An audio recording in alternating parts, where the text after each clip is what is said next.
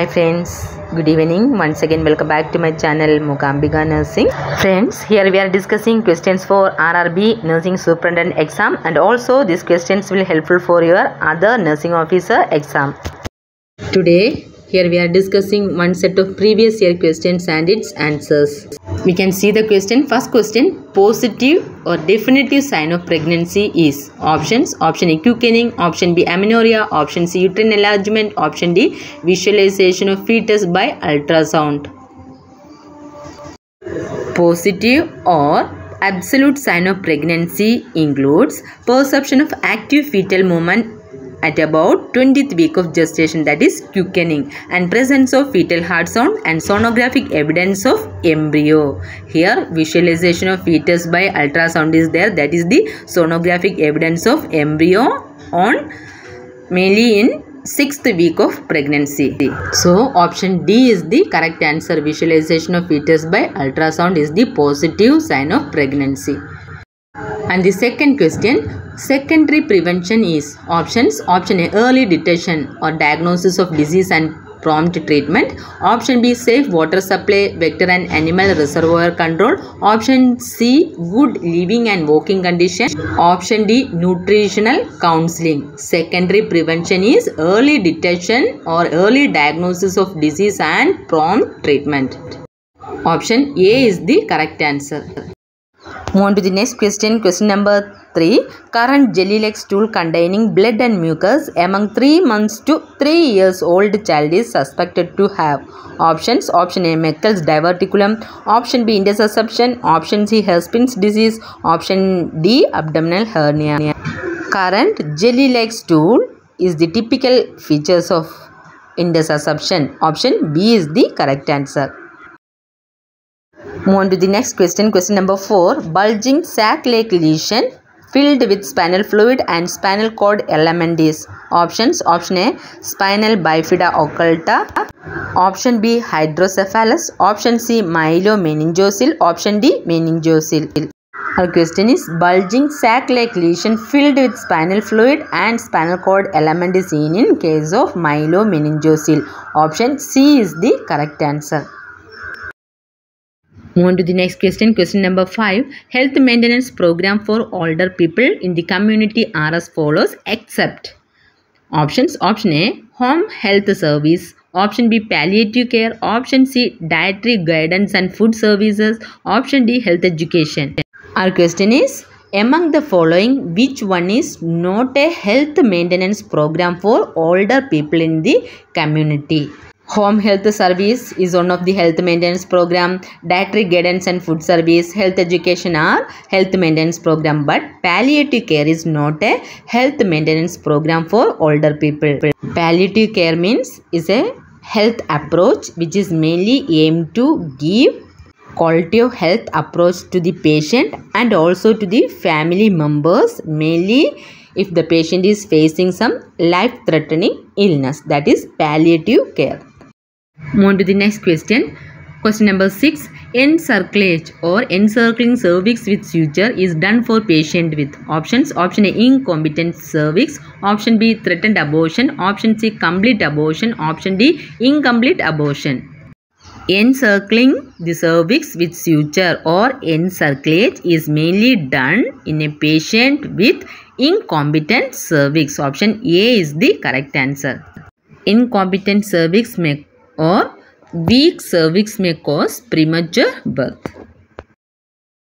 Move on to the next question. Question number 7. When a pulse rate is irregular, it is best to count the options. Option A. Radial pulse for a full minute. Option B. Apical pulse for a full minute. Option C. Apical pulse for 30 seconds. Option D. Radial pulse for 30 seconds. Our question is, if the pulse rate is irregular means what we have to do? We have to count apical pulse for a full minute. So here answer is option B.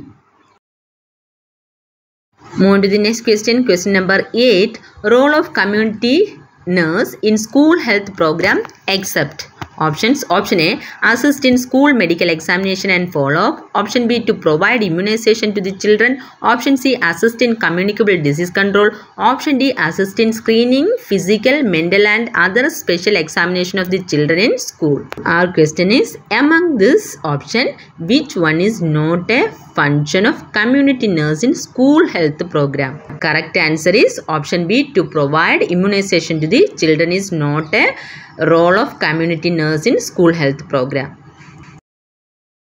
Move on to the next question. Question number 9. Philosophy of primary health care are as follows. Except options. Option a primary prevention. Option b intersectoral approach. Option c equity and justice. Option d interrelationship of health and development. Question is which one is not a philosophy of primary health care? And the correct answer is it is option a primary prevention and the next question, question number 10, the normal level of sodium in plasma is options. Option A 90 to 196 milligram per 100 ml. Option B 135 to 143 milli equivalent per liter. Option C 97 to 106 milli equivalent per liter. Option D 60 to 100 milligram per deciliter. Normal serum or plasma sodium level is 135 to 145 milli equivalent per liter in our option 135 to 143 milli equivalent per liter is there. So that is the correct answer. Option b. Move on to the next question. To properly stage a pressure ulcer. Options. Option a the patient must be supine. Option b natural light must be used. Option C. eschar must be removed. Option d the skin must be completely dry. For doing proper staging of pressure ulcer the eschar must be removed option c is the correct answer eschar is a dead tissue that forms over the pressure ulcer Move on to the next question. Question number 12. The inflammatory or exudative phase of wound healing will last for options. Option A 1 year. Option B 21 days to 1 month. Option C 1 to 4 days. Option D 5 to 10 days. The inflammatory phase of wound healing will last for 1 to 4 days. Option C is the correct answer. And move on to the next question. Question number 13. Considering the chain of infection, a reservoir might be options. Option A. A tick carrying Lyme disease. Option B, a contaminated water supply. Option C, staphylococcus bacteria. Option D, an uninfected patient. In the chain of infection, the reservoir might be a contaminated water supply. In the contaminated water, the infectious particles will be there. That is the chain of infection. Option B is the correct answer. Move on to the next question. Question number 14. Complete dilatation of cervix to the birth of the baby is staged as options. Option A stage 4 of labor. Option B stage 3 of labor. Option C stage 1 of labor. Option D stage 2 of labor. One set of labor pain to full dilatation of the cervix is first stage of labor and uh, full dilatation of the cervix to the birth of the baby is second stage of labor. So here the correct answer is option D stage 2 of labor. Move on to the next question. Question number 15. Which of the following is not a typical difference factor between benign and malignant tumor? Options. Option A. Size of the tumor. Option B. Encapsulation. Option C. Cell differentiation. Option D. Growth rate. Our question is which one is not a typical difference factor between benign and malignant tumor? It is option A size of the tumor. Move on to the next question. Question number 16. Alcohol withdrawal symptoms are as follows except options. Option A hallucinations. Option B euphoria. Option C anxiety and insomnia. Option D tremors. Our question is which one is not a symptom? Alcohol withdrawal symptom. Hallucinations, anxiety and insomnia, tremors are alcohol withdrawal symptom but euphoria is not a alcohol withdrawal symptom. Move on to the next question. Question number 17. In what ways could hepatitis A virus be spread if one of the kitchen employees is in the reservoir? Options.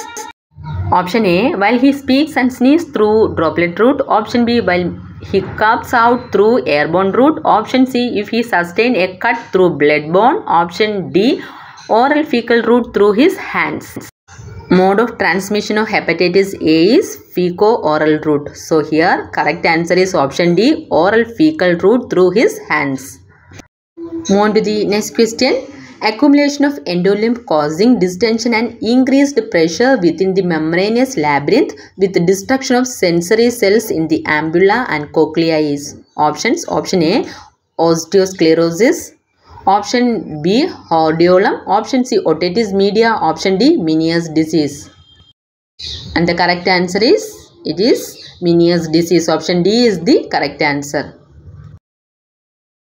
On to the next question. Question number 19. Eclampsia is characterized by the following except options. Option A BP greater than 160 by 110 mm Hg. Option B seizures. Option C mild facial edema. Option D marked proteinuria. Our question is among this which one is not a characteristic features of eclampsia? It is mild facial edema. Remaining BP will be high and seizure will be there and marked proteinuria will be there. But mild facial edema is not the feature of eclampsia. Option C is the correct answer. Move on to the next question.